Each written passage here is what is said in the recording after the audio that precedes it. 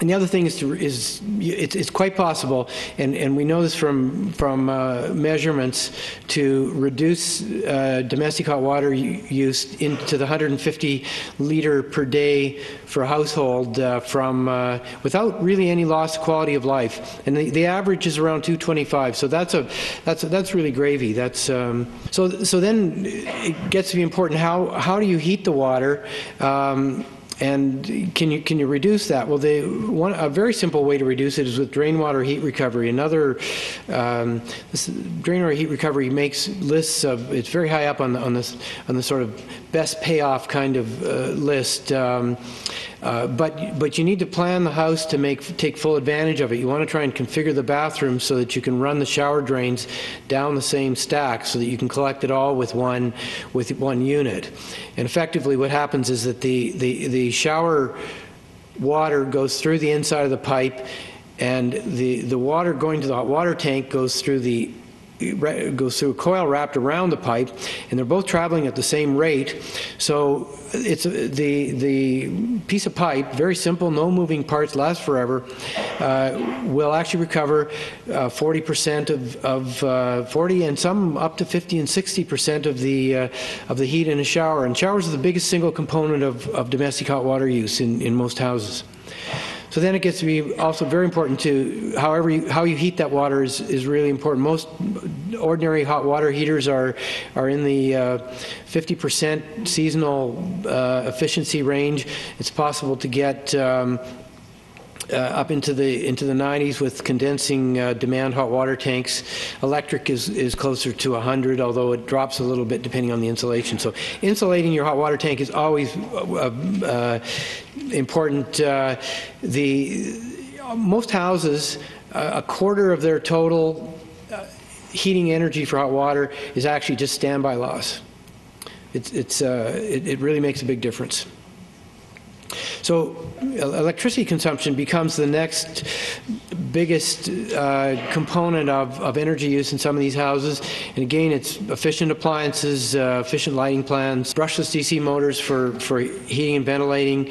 Um, one of the things to, to plan into the house in the wiring plan is, is phantom load control. Try and have a plug in every room that you can put those little things that never go off into so that you can just turn off a switch and they and they all go off. Um, you know, not the alarm clock, but uh, but everything else. And uh, it, it's also worthwhile to put in a, uh, a, monitoring system so that you can see what electricity you're using. We we find that you can save about five percent just by being aware of where the energy is going and when it's being used.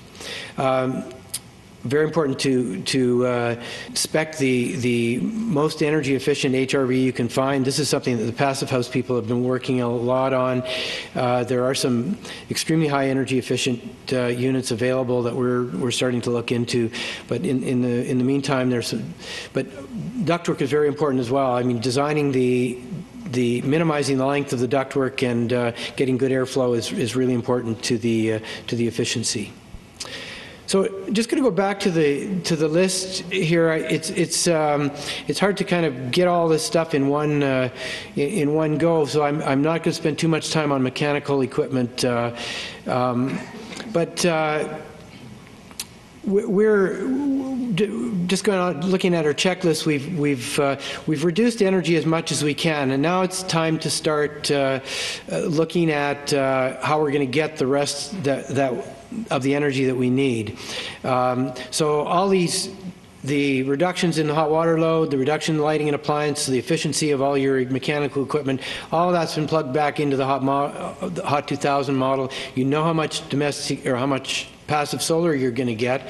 And so you've, you've got a target number that'll tell you how much um, renewable energy you need to collect on the roof to, to get to zero. And this is a comparison of the of the the houses that we've we've done so far, just against an ordinary house, and you can see. Um, that we, we've gotten our total energy consumption down in the in the 10,000 kilowatt hour a year range, um, which is still a pretty big amount of renewable energy to, to collect. Um, The, you know, the Bonnie Doon House, uh, we- we're, we'd need about 17,000, just not likely to, to be able to get it. And you can see where with a typical house at, at closer to 40,000, uh, you, you'd, you'd need uh, the whole block worth of roofs to, to really do it. Now that we're in the, in the 10,000 kilowatt hour year range, we've got some, we've got some options to take advantage of simplified mechanical systems as well that'll start to pay for some of this stuff. So uh, just a quick comparison between solar thermal and PV. Uh, um, You know, on a, on a cost basis, it's less expensive to do a smaller, a small domestic solar hot water system, something in the neighborhood of two collectors.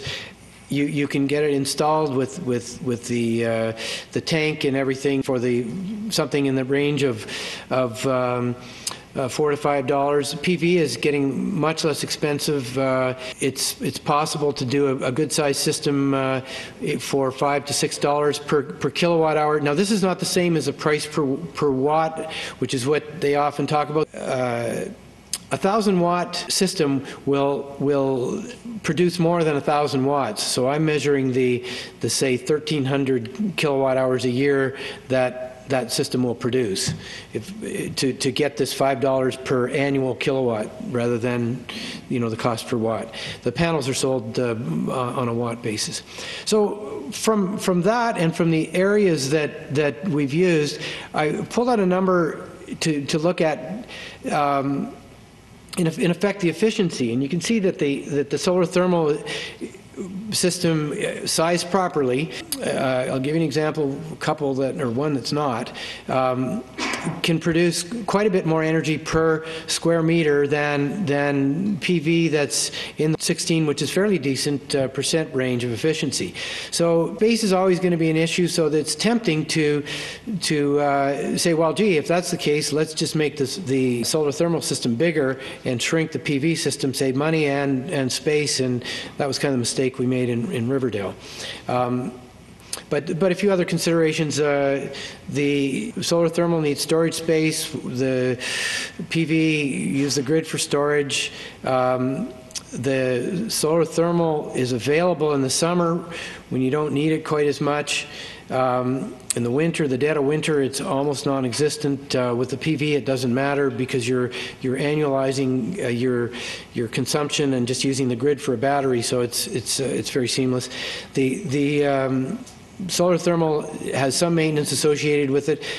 Even a simple system, which which is all I would advocate now, and um, and some maintenance where where the the uh, the PV is uh, really plug and play and, and quite. Uh, uh, you know, it's, it's, it's actually really fun. Just put it in, forget it, and just watch watch the the meter go up every day.